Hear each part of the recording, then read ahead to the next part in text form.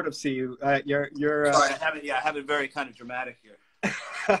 you're giving me that one tunnel look. Yeah, well, you know, there's something about the shadows. I don't know, you know. Yeah, well, we, we live in the shadows. I, I think that's that's that's what it is.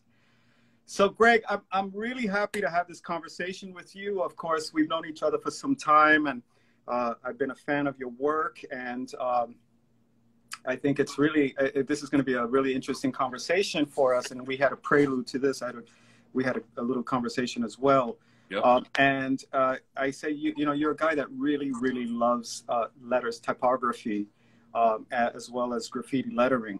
So before we jump in and start, I'm going to switch the screen over so I can take a minute to read just a quick one paragraph bio for the folks who may not know you or your work. Um, so, uh, uh, it reads, inspired by the dynamism of his native New York City, Greg LaMarche's collages combine the city's relentless rhythm and graffiti's aggressive presence to express the power, elegance, and rebelliousness of urban creativity.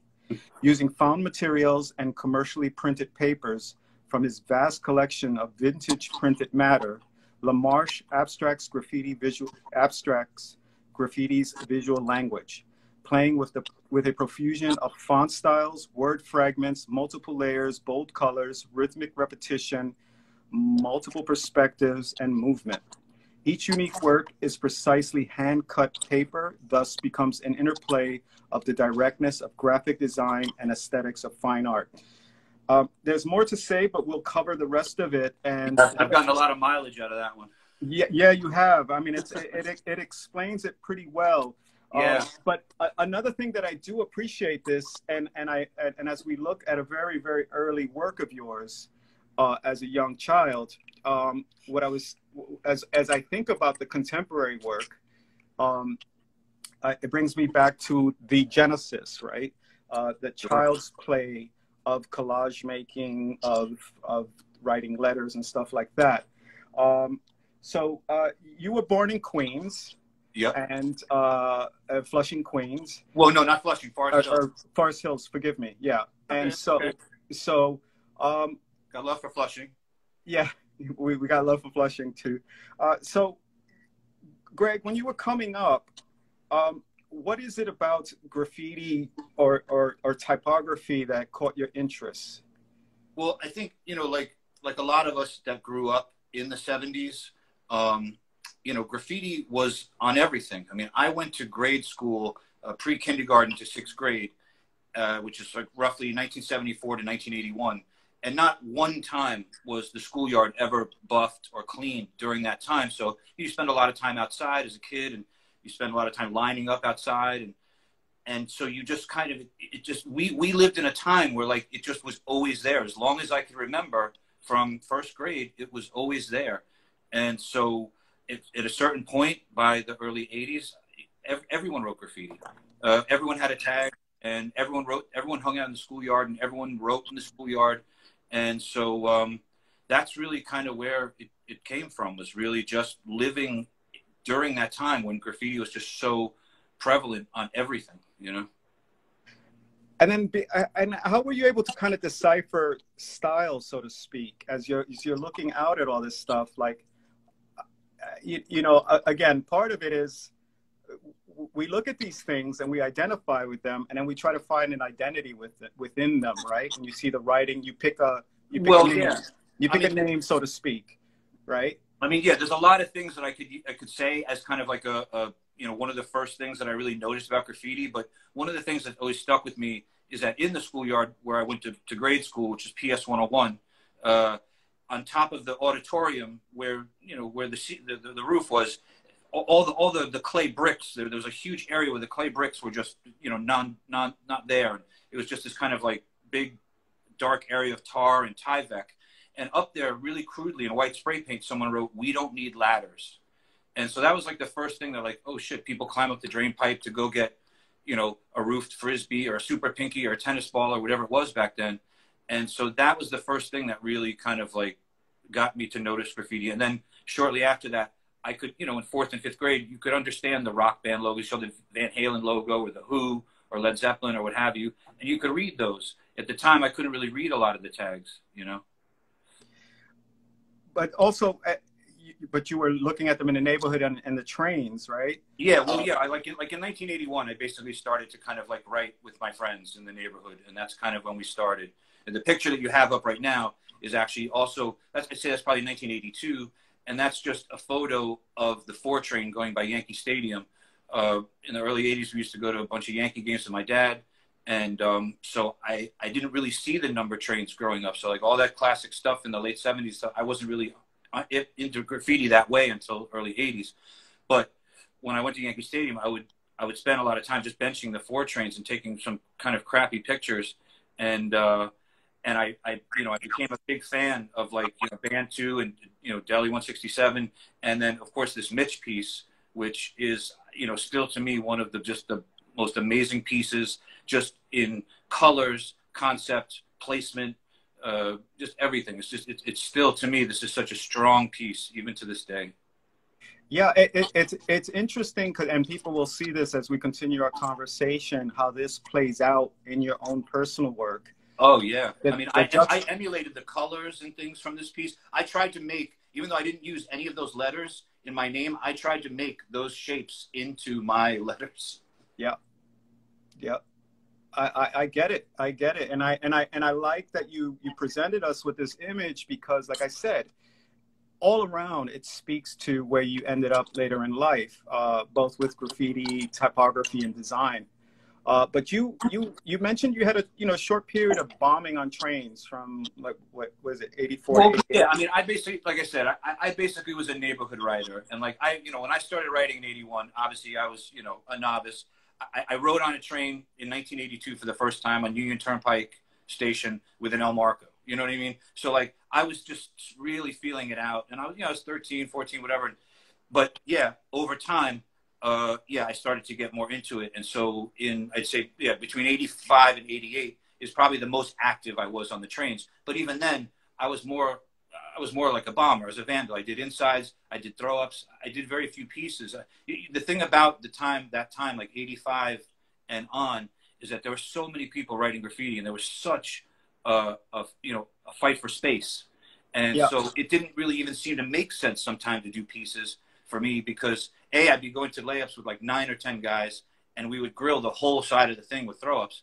And if I was like kind of left behind doing a piece, I, I would there be no room for me to do fill ins everywhere. So it was a kind of more. It became more of a competitive thing, you know. Right, and this I think this photograph really kind of emphasizes that, right? The competition for space. Um, yeah, yeah. Uh, the year says a lot because this is sort of after the style war years, but into like really like this is kind of like the you know the final throes of the graffiti yeah, movement. This, is this is '88, so this is very much towards the end. As a matter of fact, this was done in the M yard, and there were there were clean trains in the M yard at the time. And I can remember a worker coming up to us and say, "Hey, don't write on the clean trains." And we're like, "Don't worry, we're not," because you know we didn't want to blow the spot because we were going there quite a bit. Right. So, but but this time it's interesting because at, at this time, '88, you're are, are you already at music and art at this time? Mm. Uh, no, I, I graduated. I graduated music and art in '87, and I started. Okay. So, so, like this tag, this is from '87. Uh, so we spent a lot of the lines that I hit. Like I, I didn't really hit the number lines. I, I, mostly hit the lines in Queens and, and Brooklyn. Like for whatever reason, just growing up back in Queens, then it was just th- th- there was just a big connection between Brooklyn and Queens because like all you had to do was jump on the uh, Interborough Parkway and like you're in East New York and there was tunnels and yards and there's just stuff everywhere. So it's like, uh, you know, a lot of the stuff was, you know, like I said, it was more like, you know, M trains and uh, R, N, N trains and B trains and R trains and stuff like that is what I was saying. Yeah. So, uh, Greg, what can, what, what can you tell us about having this kind of uh, impulse, right? Just to brand yourself and, and just vandalize trains and streets? Well, I was into it. I mean, I, you know, one of the things I should probably say is that, you know, what I grew up looking at, you know, my home station was Continental Avenue on the E and F train and the first stop on the GG in Queens. So I spent uh, an inordinate amount of time kind of in, in, in, in essence studying those trains. I mean, the, the, amazing thing about the GG trains is that they would switch up with the CCs Yes. And they would park. They would park uptown. They would park in Rockaway. They park in the Queens Boulevard, and so you would have just like this mix up of hand styles from the Bronx and from uptown and Brooklyn and Queens, and so I very much gravitated towards the insides and the hand of, those old GG clunkers, uh, and and also I have to say that you know back then the E's and F's were being absolutely crushed by RTW, TPA, uh, and TKC. So yeah. I, I, could speak a whole show about those three crews alone and just their influence on me. But in a nutshell, those three crews I think really shaped what what I really liked about graffiti and you know how I looked at throw ups and and hand, handwriting and stuff like that, and even like simple styles and pieces. I mean, just watching that unfold, uh, you know, was you know amazing. Yeah, and and the one thing too that I I would say about those lines, uh, especially Queens and the Far Rockaway lines, um, there was some great throw up writers. Um, yeah, I, I, think some of the greatest ones came off of that line. Um, well, I mean, I, I always kind of look at the, you know, it's funny. I always look at the letter lines and the BMTs and and some of those as more like the blue collar lines because they you know, you had you had the IRTs, which had all these you know amazing, colorful, and, and you know incredible artworks, but the the J trains and the M trains and those, they had these you know blockbuster silvers and just top to bottom silvers. I, I can remember distinctly the Lookout Crew, uh, EK and JO, and of course Baby 168 and POSIS. Um, these guys just absolutely just trashed these lines and did throw ups and top to bottoms and and that was that was that was exciting to watch because that was mostly what I saw when I was growing up. And also, uh, it, it, of course, uh, it, it's important to say too, since the times have changed, it wasn't the time for you know that you go to the layup and you spend five hours on one piece. No, I mean it would be about volume. I mean, you know, we would go to Astoria, and if you could hit both ends of the layup, there would be six sets there. So you could maybe, if you were lucky and didn't get interrupted, you could maybe do 40, 50 fill-ins or more a night. I mean, I, I used to paint with a guy who wrote who writes AI KSW, and uh, shout out to him. And he he's one of the most uh, he's one of these guys that kind of had a sixth sense about bombing. He just knew he knew how to how to do it, and and he did more throw ups than whenever I went painting with him in, in tunnels or layups. He did more throw ups than anybody. So there's something interesting that we all develop, well, many of us develop about the act of writing and and and and putting up our tags and throw ups or pieces, is that this kind of uh, uh, unique sense of messaging and placement and branding. Well, yeah. Well, hey, growing up in Queens, the highways was a big, yep. big thing, and so this was this was a really, really great spot on the LIE, right by Woodhaven Boulevard, that I don't know if you can see it or people can see it the screen, but a lot of the stuff that's in there is, is old Quik throw ups and Satch RTW throw ups, and there's like Quik KD or Quik RTW, and uh, there's there's some really magical stuff that's going on in there. Um, and so I we really came in on on the, the tail end of that, you know, because I mean when we started writing, a lot of things were still running on highways and stuff like that. But by the time you know by the mid mid late '80s, highways started just getting annihilated. Right.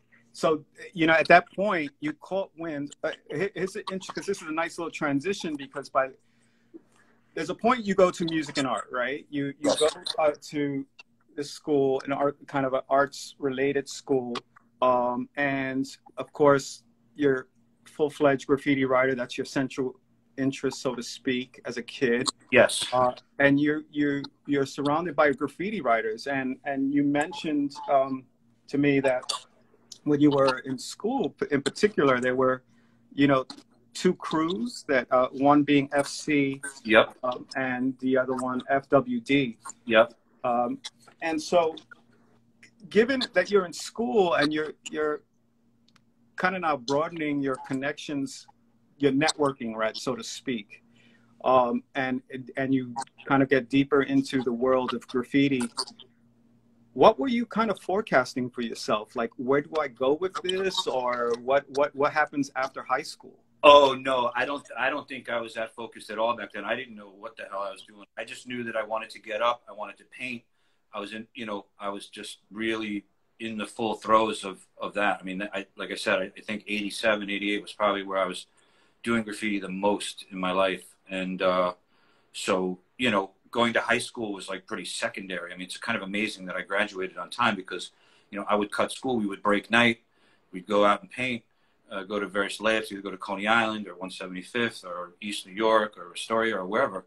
And, uh, you know, I would, you know, my, my parents would get, you know, messages back from my teachers like, hey, your son is falling asleep in class and stuff like that. So, you know, I, I, uh, I definitely was, you know, very much absent for high school uh, because I was just, yeah, I was just so wrapped up in it. But, but something, something uh, really kind of woke you up to something much more, uh, well, I think, um, how do you put it, uh, uh, purposeful um, once you, you graduated, right? Because you, you, end, you mentioned you ended up going to Franklin Pierce. I did, uh, yes. After high school and, and a liberal arts study. What's interesting about that, I would imagine, you know, it's kind of a, you know, geographically you, you, you shift, but also you have time to reflect and look back. Well, and, as a matter of fact, you know, college was actually a great place for me to focus because in high school I was all over the place. I was heading down, you know, that path of like, you know, not not serious serious trouble, but like on the verge of getting into really serious trouble and doing fucking, you know, just not good stuff. And so, uh, yeah, when I went to college, I think I had made a promise to myself, and I think a promise to my parents because I had put them through a lot, as I think a lot of us have. And uh, so I, I really wanted to excel at college. And so in college is where I kind of really tried to make good, you know, and, and I was out of the city. I was in the woods in New Hampshire. And the, and the beautiful thing about it is that it was not an art school. Um, and so, you know, a lot of the art classes, you know, uh, they, they were taught by serious professors. Um, and so, you know, uh, but a lot of people took them as blow off classes or, you know, they, you know, so they could keep their, their, their grade point average up. The teachers, whether it was photography or drawing or painting uh, or graphic design, the teachers all saw that I was like really serious about all this stuff.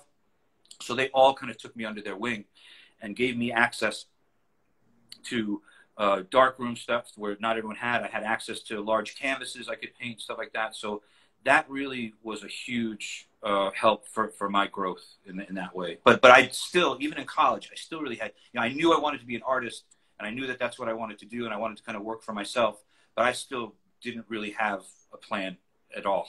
Right, but you figured out a plan, right? And that was to create the zine, the skills, the skills. Well, right, and, right. And, and and that's that that to me is really interesting, right? That's why I say the distance kind of like uh, is very interesting in retrospect when you look back at the at your true passion yeah, well, I mean, the magazine was, you know, really the culmination of everything that I really enjoyed. I enjoyed graffiti. I enjoyed at this point documenting graffiti. Uh, I enjoyed design, um, and I also uh, and collage. This was really where, you know, I had been doing collage and graffiti probably as you know around the same amount of time, but they never those two worlds never really they kind of ran parallel to each other until mm-hmm. I did this magazine, and then it kind of it kind of all came together in that way. So yeah, so this magazine and this particular issue, number five, uh, with that cover, was a very personal things. A lot of personal effects in there, things that were used during the '80s when I was writing on trains. Well, actually, not this cover. That, that's actually, the other one. Yeah, that's actually a photo by Adam Koss. But yeah, this one. Uh, you know, these are these are you know labels of things that I racked. Uh, there's a an empty bag of Crazy Eddie angel dust. If people remember that era. Yes. I, you know, I, I, I, I was curious about that. I was going to ask about that um, because it takes a certain New Yorker mindset and person to understand what Crazy Eddie was all about. And if Doze was on this, he would be screaming like, "Oh my God!" But uh, well, did Crazy Eddie seem to be aligned with uh, the appetites of graffiti writers? Let's just say that. Let's just say that. But again, here's what's interesting. What I like about this, okay, is that you and this there are two two ways of, to think about this for me.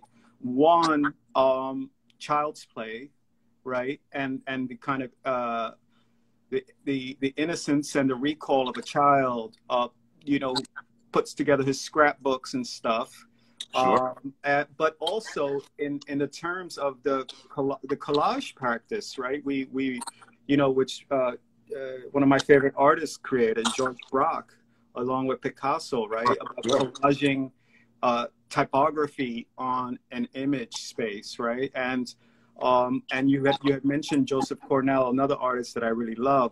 And again, you're doing this naively, so to speak, right? This is well. A- I mean, I had been exposed to some art as a kid. My parents were very much into art. They were both art history majors in college, so you know, I went to galleries and museums with them. Uh, and so, you know, just off the top, yeah, Joseph Cornell, uh, Kurt Schwitters, yes. um, uh, Red Grooms. Th- those are when I was young. Those are artists that were very, very influential to me growing up. So you, you, you what the next part of this, which I'm really fascinated by, is um, how you take that and you start, um, you know, constructing typography um, from various uh, sources of uh, publications from times ago. Tell, tell me about how you arrived at this, coming, coming from this to this, what was going on? What, what, what was uh, the motive? Well, the thing for me with collage is that I, I make a, a, a, kind of vast array of different types of collages that are all kind of, you know, rooted from the same place or, or come from a similar place of inspiration. But there's many different styles you know, and, and a lot of these things, again, when I'm making, you know, when I'm doing my studio work, I'm doing collage work or painting and stuff like that, I'm not trying to emulate graffiti, but I'm absolutely trying to take some of the aesthetics and the energy and the dynamics and symmetry and stuff like that from graffiti and put it into the work. And so for me, you know, like you were saying earlier on, I mean, for me, letters is, you know, and, and the, the reinvention and deconstruction and reconstruction of letters is just something that's never, it just is always exciting to me. And so, uh, you know, having that kind of background and doing, you know, burners and pieces and stuff like that. When I finally arrived at this place with my collage work, I, you know, I did a bunch of word pieces and letter pieces and stuff like that. And that also kind of riffs off of, you know, uh, uh, negative space and, and things being layered and, and, kind of layers of graffiti and layers of, of, of lettering and, and, posters and stuff like that. But um, yeah, these, these pieces, um, you know, were, were specific to, you know, they're, they're a limited color palette, which is also something I like to play with. I also obviously I like to play with negative space. And so, you know, I, um, yeah, I, I just try and kind of evolve the style. And I mean, you know, I mean, I think a lot of graffiti writers and a lot of artists, period, I'm sure yourself included, it's like you, you doodle a bunch of ideas and you sketch down a bunch of ideas. And those, that idea that you're like, oh, hey, I really like this idea, that idea turns into two ideas and then five ideas and then 10 ideas and then so forth and so on. And so sometimes I find it hard to even catch up to, to all the ideas that I want to really, you know, bring to fruition, you know? So a lot of the stuff you'll see is very different because I'm very interested in making series. And uh, so, yeah, so there'll be a lot of, so there's a lot of variety, but it's all, again, it's all kind of connected and based in collage. And for me, collage is uh, very much the jumping off point. You know, right. And, and, and I'm going to reiterate this is that you hand cut the paper mm-hmm. and paste it and it's you know mechanical studies this is so analog and that's what i really appreciate about it uh, because this is easy to is easy to do now with uh, adobe illustrator uh, yeah I, I, let me just reframe that it's easy to re-illustrate right? Uh, to conceive of this is another thing right? Because I, I think i got to give you props for what you conceive and what you're seeing and, and reconstructing. And um, it, it, as a sculptor, it speaks to me because I, in fact, I actually love working more with my remnants than you know the, the, the material I use in a finished piece, so to speak. Yeah, yeah. Well, the same thing happened to me, and I definitely there are. I have a whole series of things that are literally the leftover cuttings of these more kind of graphic pieces like this. Like what's left over from this, I have pieces that are made out of those pieces. Yeah. But you also take another shift, which is quite interesting because you become very literal, uh, very strong typefaces, um, strong messaging, right? Uh, and and what I'm curious about with with this series is because you're departing from something else, and why would you go so literal? Uh, well, I mean, I think there was a while where I was really interested in doing things that you know were sayings or phrases, um, you know, and you know, kind of having a little bit of fun with them. I mean, this piece, the hustle piece, is really interesting because this is one of the first prints that I did, uh, you know, kind of with a really, you know, great printer, a guy named Luther, uh, and so this and it, this also came out in 2008, literally in October uh, when the stock market crashed. So this piece automatically for me had new meaning that like we're all to have to rethink our hustle. But the initial inspiration for this piece is when I used to play little league in Queens and Forest Hills. My coach at the time, you know, as you can remember, they're like these kind of overzealous parents and all this stuff going on. Is they would say hustle, hustle, hustle, hustle, and so that's so you know in mining for ideas for pieces. You know, sometimes you go back. You know. Yeah, and and and again, the the, the word dictates the design, right? Because there is something like of a a, a, a kind of hustling for space, uh, a font space in this, you know, from uh, in, in dimension.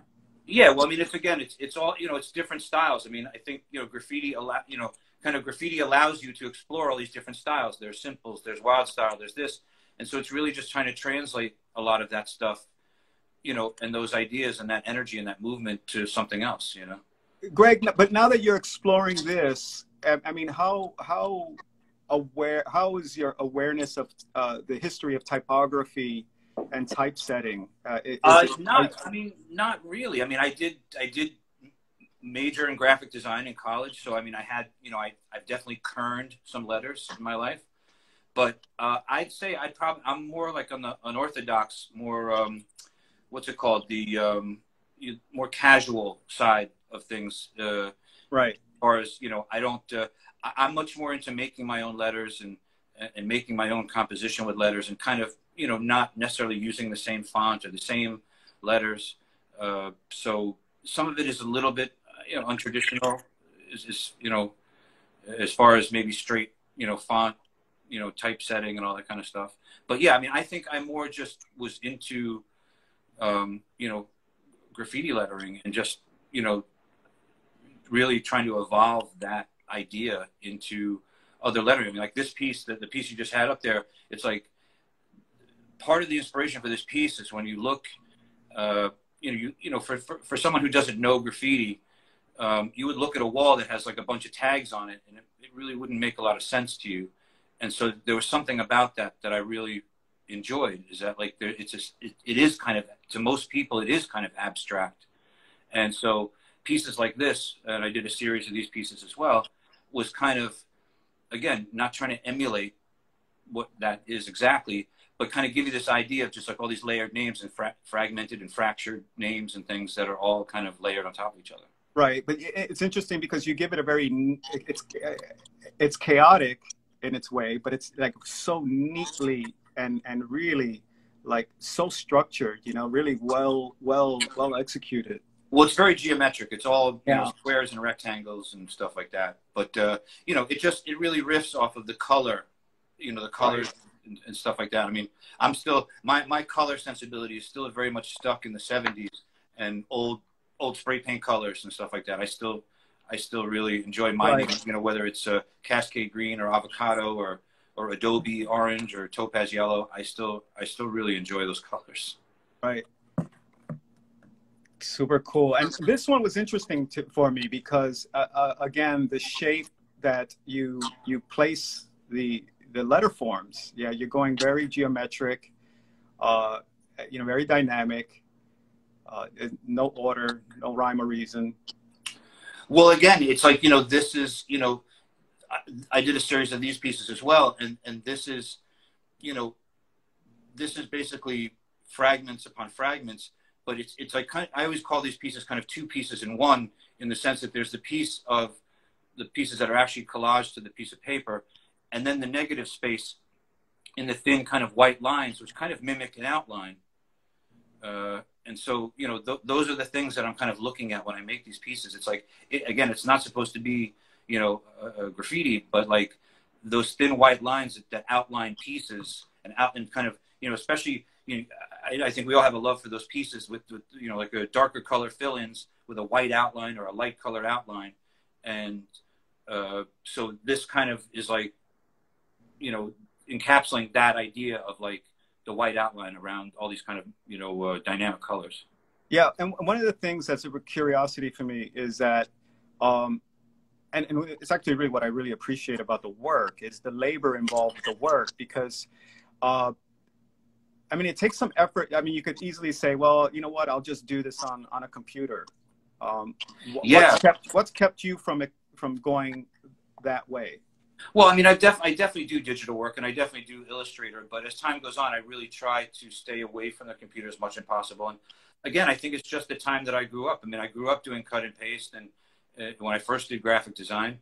And so it's just something that stuck with me. I mean, you were, you were mentioning before about kind of like the childlike nature of all that stuff. And there's a truth to that. But there's also, you know, my mother, she did collage and she had a small studio outside my bedroom.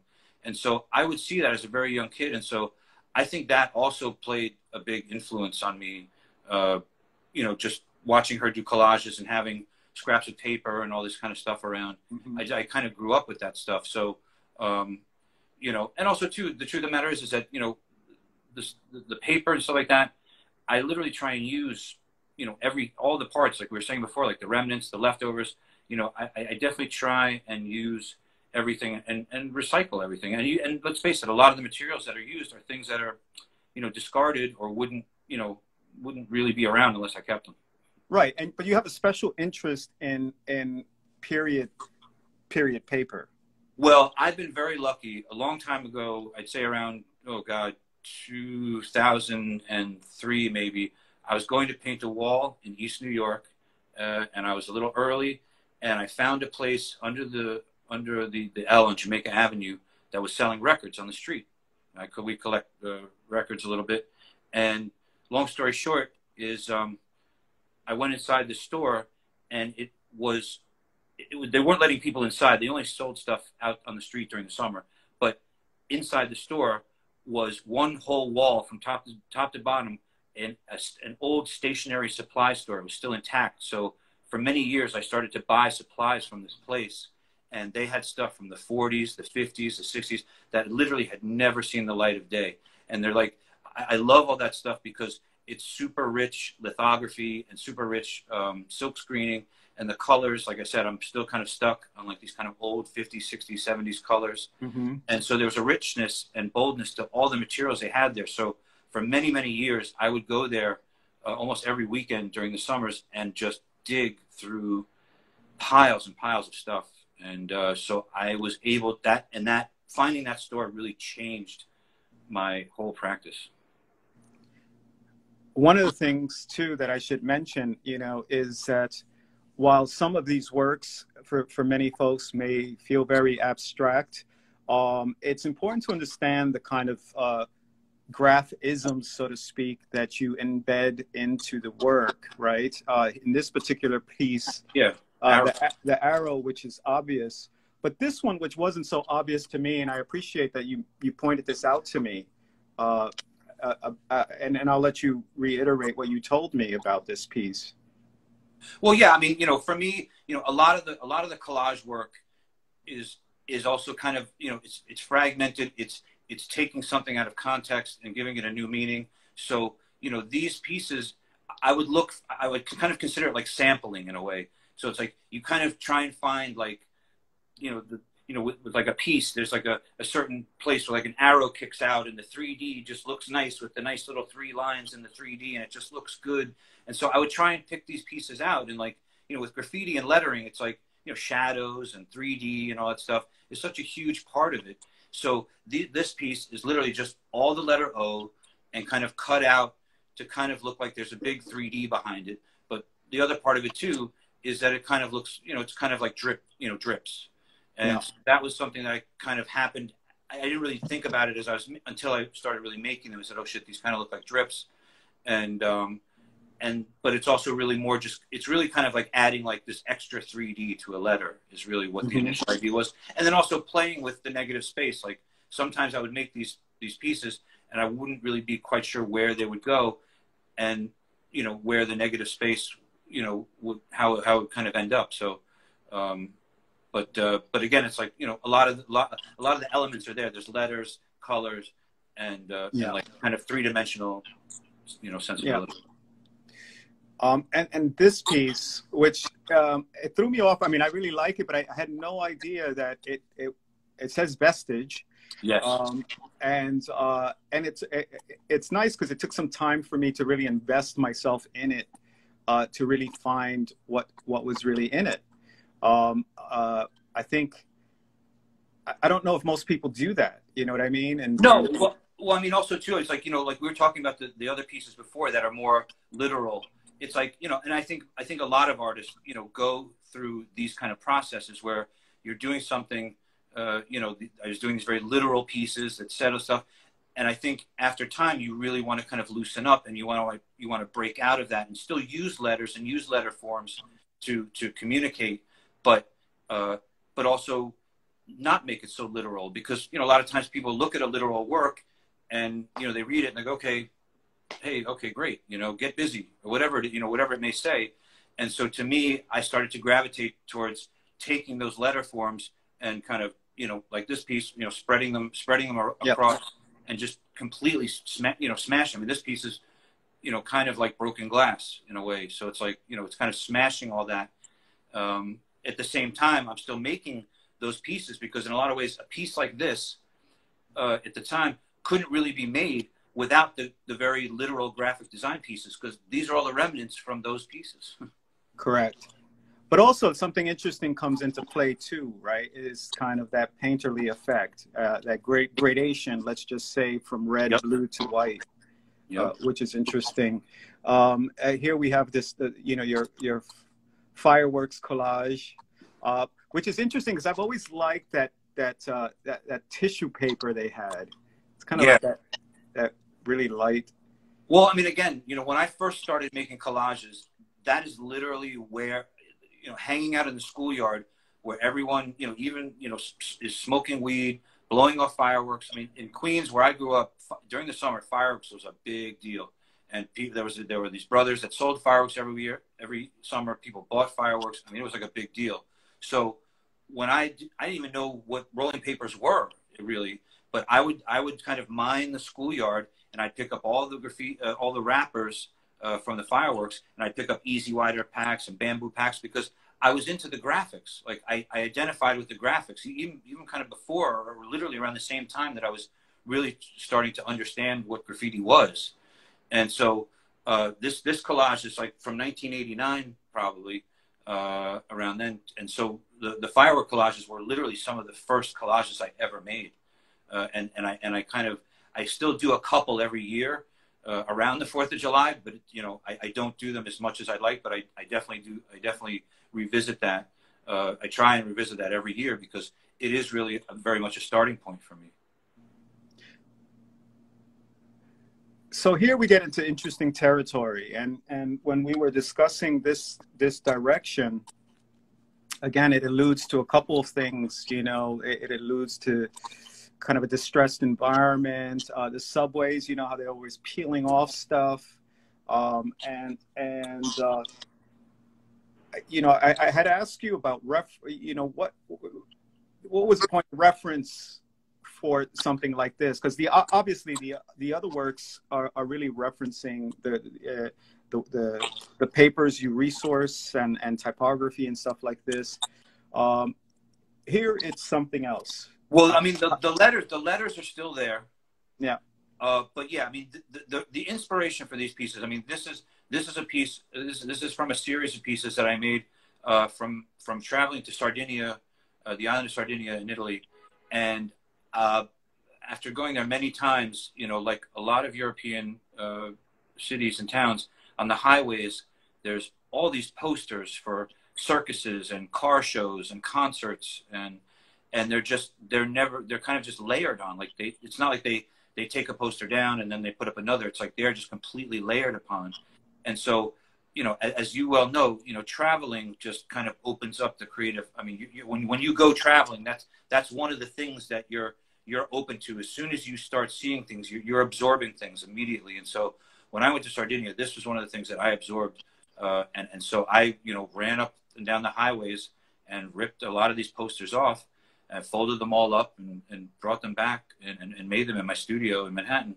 Uh, and and it, it, it kind of brought me back to when i first started making collage and just kind of ripping pieces of uh, firework papers. But also too i kind of what that trip helped me kind of realize was also that I kind of fell in love with fluorescent color. Again. you know, like a piece like this.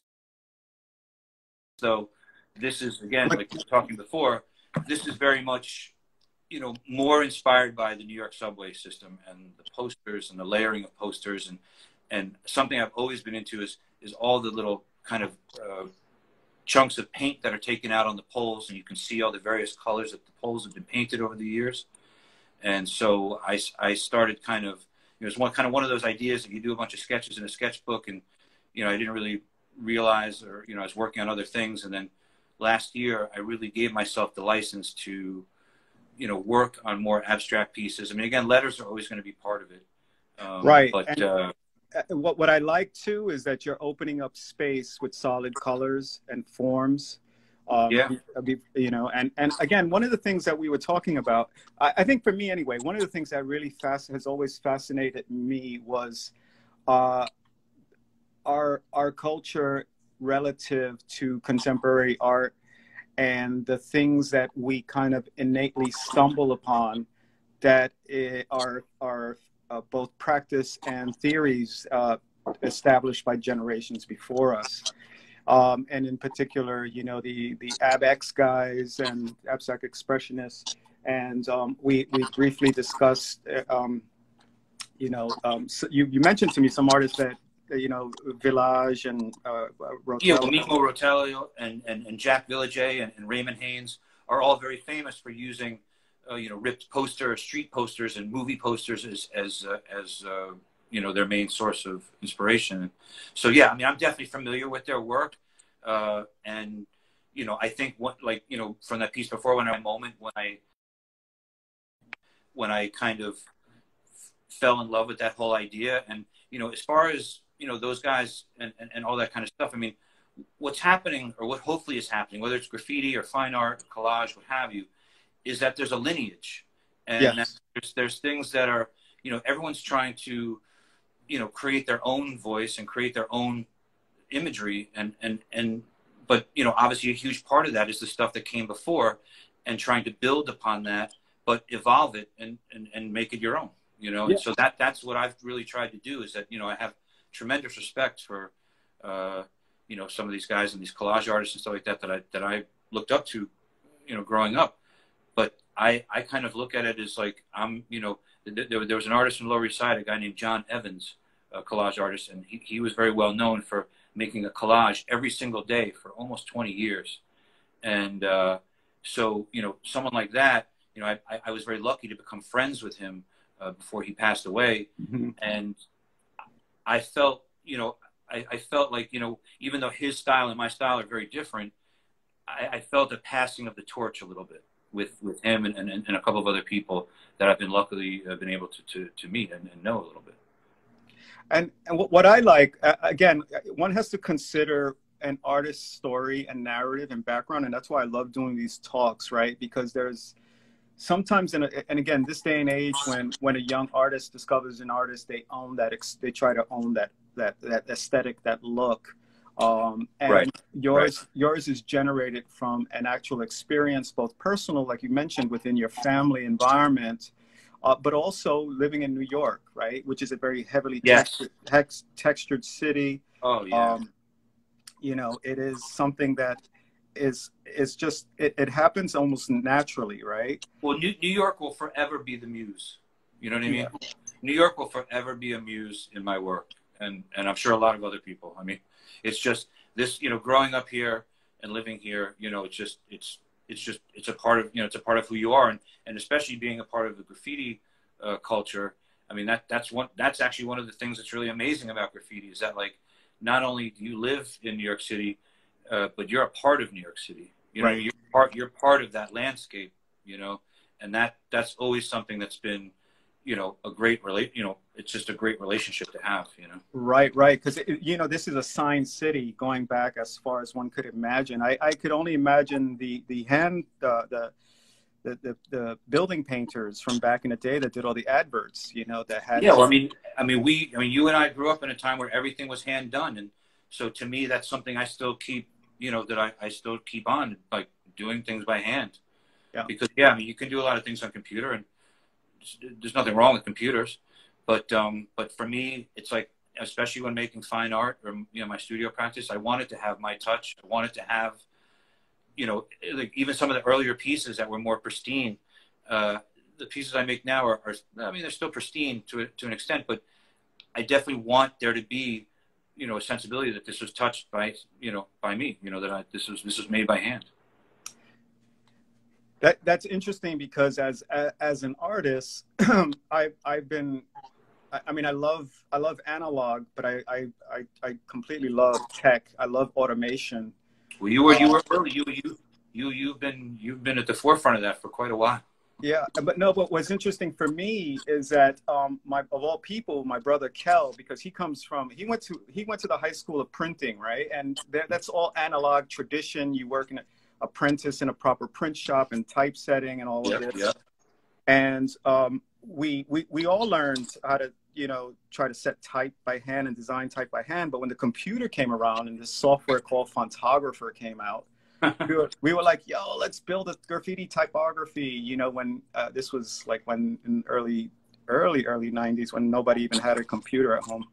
And no, I remember, I mean, just as, as, as a side note, I remember uh, going to your guys' studio when you guys were in Williamsburg sometime in the early 90s with, with Chino and being kind of blown away. You guys had all these computer monitors and stuff going on. And it was, it was, I'll never forget it. It was, I'd never seen anything like that at, at, that time. It was, it was, you know, to yeah. see you kind of at, at, that, the forefront of all that stuff was really. I, I, mean, think about it. Is it's if if you're not trained, um, uh, technically, right, to kind of, I mean, it's hard to get an image like this, or or for young artist to get an image like this today analog so to speak if you were really to you know i mean let's be real it, there, there's there's a certain knowledge uh, that's associated and an analog knowledge that's associated with this um, that is um, so essential to the process and the outcome. Uh, with the computer, um, it, it, it, has a different look, it has a different feel, so to speak. Uh, and again, uh, because there is something about the paper and the transparency of papers on, on layers and, and the kind of uh, uh lift, so to speak, that collage gives your work. Sure. Uh, in the gluing process. Um, that I absolutely love. Um, but I understand the importance of uh, fine tuning and automating a process to arrive um, at the same point of satisfaction, so to speak. Um, not, I'm not saying the same type of out- outcome in terms of the artwork per se, but the same type of personal satisfaction in trying to solve a creative problem. Yeah, I mean, you know, again, I mean, you know, the, the piece you have up there now, you know, there's obviously this piece is a little bit more message driven. Um, but yeah, I mean, you know, I think to, to, to add on to what you were just saying, I mean, for me, you know, collage is such a, it, it, it, it's a very pure art form not, not only because it's something that maybe we all did as we were kids when we were in kindergarten first grade and they had the little tinfoil trays with the chunk of paste in it uh, but it's it's something that you know all, all these pieces of paper and, and things that, that that culminate in these works you know had different meanings and different lives you know different you know uh, lives before they kind of got to me.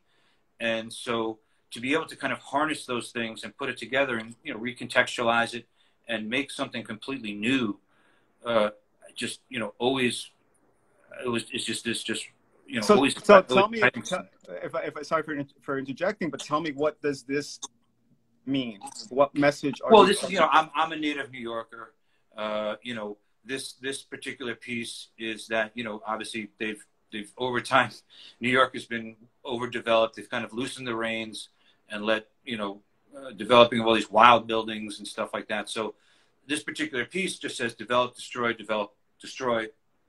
But also behind that, there's like three very kind of classic looking buildings, but kind of looming in the background is this very kind of rote, very plain glass, kind of, you know, kind of uh, very plain looking building that, that, that doesn't, that's not very interesting, you know? And so that that's really that's really the whole meaning behind this piece is, is it's really okay. you know it's a it's it's a you know comment I made this piece probably in 2005 so it was a comment you know on New York City and, and what was kind of going on at that point this series, I've always liked this these series you would do where uh, letters would be flushed to one side or the other, and there is this kind of movement. This, yeah, yeah. Well, I mean, I love playing with negative space, and I love having things that have a you know because I think some of these some of the pieces that I make, like this one example, there's such a density to the the the formal part of it that for me it needs some space to breathe to to do just that to create that movement and create that kind of layering and kind of uh, undulating sense of like and even somewhat of a heaviness you know um, so yeah i mean the, I, yeah. I utilize it, it, it's interesting because too there's something that evokes I, just as you were speaking something that was evocative to me was that you know i just imagine you just turning over maybe like a box of letters and just well you know you're not you're, you're not wrong. I mean part of the process you know from from even transitioning from doing the more literal pieces is that like pieces like this were really born out of you know I, a lot of the work i did was very cyclical. I would i would get hunt and gather materials. Then i would spend weeks at a time cutting you know hundreds of letters and pieces. And then they'd be laid out on my desk or, or, or on you know somewhere in the studio. And i maybe would bump into something or knock into something or I'd drop something. And all of these uh, compositions kind of started happening. So yeah th- there's definitely part of my practice where i, I, I employ more uh, chance yeah i was just going to say happenstance matters man yeah oh yeah i mean whereas like this one is very you know it's very uh, purposeful like this is meant to be this way um, and so, yeah, I think, you know, the natural progression of things is that one wants to loosen up and kind of, uh, you know, play, you know, kind of, uh, you know, play with things and not be so rigid, you know, sometimes. Greg, not you, you, you refine this concept, this idea, this look, right? This signature for yourself. Mm-hmm. You, you're, you're able to parlay that into, into, you know, uh, real world advertising. Uh, it, it makes sense. And it's funny that you know, we would be having this conversation today because earlier today, um, I was in an office and they had an issue of communication design.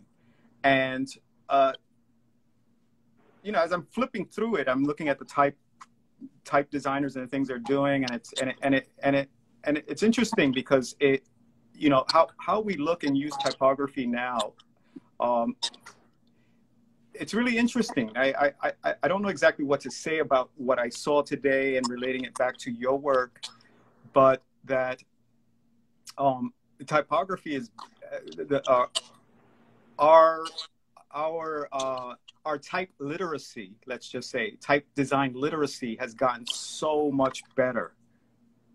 Yeah, I mean, I think I also think too that like people have finally kind of come around to letters and letter driven work and graffiti type. I mean, I would say, you know, within the last, you know, I don't know how, however many years you want to call it, you know, people can be a lot more informed about this stuff.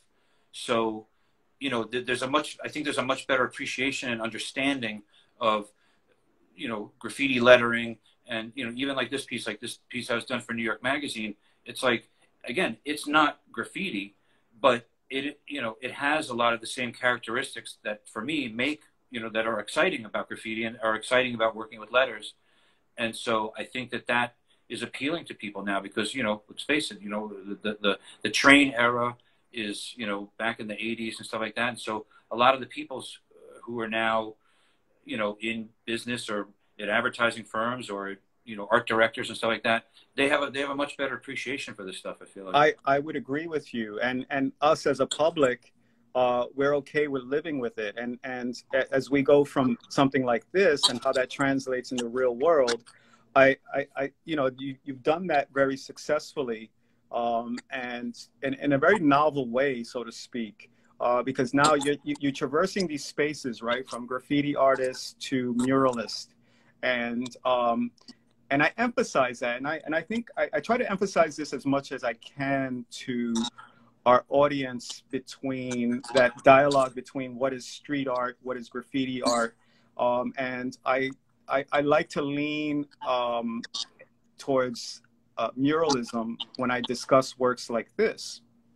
And yeah, you know, it's it, it's funny. I, I sometimes I struggle with this in some ways because you know when I think of murals, you know, I think of like the WPA murals or Diego Rivera or like those. To me, those are murals. And I'm not saying that this work here isn't a mural, but for me, I feel like these are wall paintings, and and and, and it's it's in it's it's in the same uh, you know conversation with muralism, but it's uh, to me murals are a very specific thing. So I, I like to consider these things more wall paintings. Uh, I mean, maybe that's just semantics. I don't know, but I just I, I guess maybe I'm old fashioned, but when I, I, think of murals, I really think of some of those well, very classic, you know. Right. You're, you're a romantic and I, and I get it. I, I, I get it. But, but you can always, tell by the lighting, you know. Yeah, I, I, I get it. It's, it, you know, again, it, but it's, it's one of those things that I've often found very interesting um, in terms of, uh, you know, vernacular, right? And that there's something about um, the term street art sometimes that cheapens the the the perception of the work, so to speak. Well, uh, I mean, yeah, quality. I mean, you know, I mean, there's there's obviously been this kind of push and pull conversation between graffiti and street art for for a long time now, and like, you know, I think both I think both street art and graffiti have benefited from each other in some ways because obviously there was such an explosion of street art, and I think that that that light that street art got kind of shedded a little bit more light on graffiti and you know, as you say, style writing. And so, as I was saying before, I think more people have a little bit more knowledge about that kind of stuff yeah. and a little bit more appreciation for it.